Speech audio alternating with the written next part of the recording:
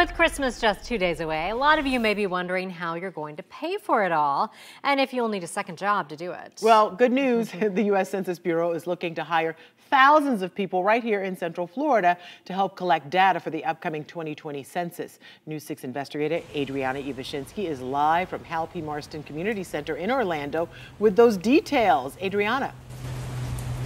Yeah, this is one of those places where you can come and actually apply for one of these part-time census jobs. You can also apply online as well. We have details coming up on that. Now, these jobs are offering anywhere from $13 an hour to up to $20 an hour, about $19.50 an hour for a part-time job. Now, what's great about this is by helping with the census, you can also be bringing billions of dollars into the Central Florida community.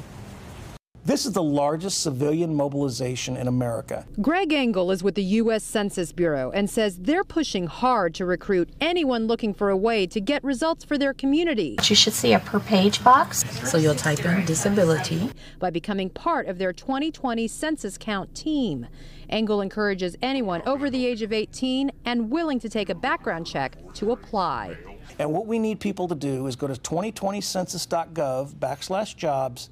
They can get all the information they need there about what the type of jobs, because it's not just knocking on doors. Engel says there are also support jobs and clerical jobs that need to be filled, even jobs you can do from home from your computer. Engel says these upcoming census jobs can be filled by anyone who has a full-time job looking to make some extra money on the side or even retirees looking for something meaningful to do. It's flexible paid training, flexible hours. It's great for students, retirees, my veterans. I want all my veterans. I'm a veteran and I want my veterans counted, so I want them working here.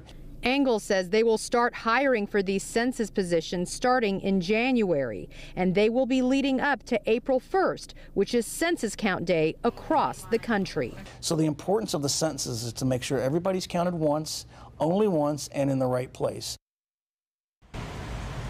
And that is so important because that census figure accounts for billions of dollars in federal aid that would go to each county that it serves. So that means if the count is off, even by a little, it can really shortchange a community by, again, billions of dollars. And I'm going to have more about that and how it affected the 2010 count right here in Orange County coming up tonight at 6 o'clock. Reporting live in Orlando, Adrianna Iwasinski, Getting Results, News 6. Adrianna, thank you.